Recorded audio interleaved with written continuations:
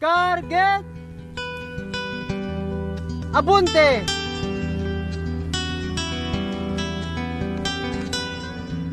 Consumatum est!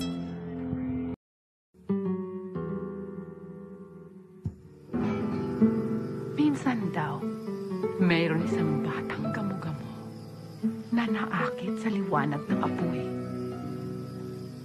Maski anong paalala ng na huwag siyang lalapit sa apoy. Ay lapit pa rin siya ng lapit. Gustong gusto niya ang liwanag ng apoy.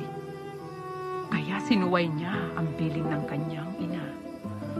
Lumipad siya ng lumipad, palibot sa apoy. Palapit ng palapit sa apoy. Hanggang sa magliyab ang pakpak niya. At tuluyan siyang